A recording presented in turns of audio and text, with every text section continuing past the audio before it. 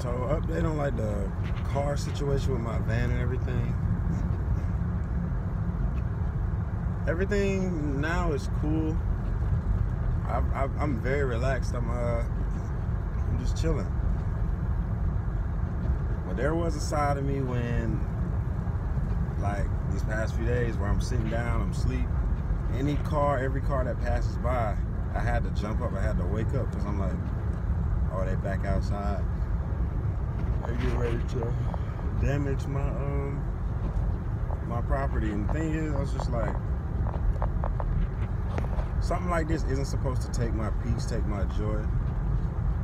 But I'm not gonna lie, for a little minute it did. Like, like for a few days it just upset me. It just took my peace, just took my joy as far as like, man, like you work so hard, this and this and that.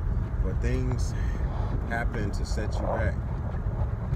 Things happen to set you back.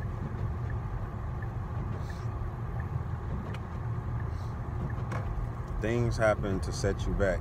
But you gotta stay focused. You gotta stay like you gotta you gotta keep reading over your goals. You gotta keep writing over things that'll help you push in the right direction. Do not play into the stuff that can get you sidetracked.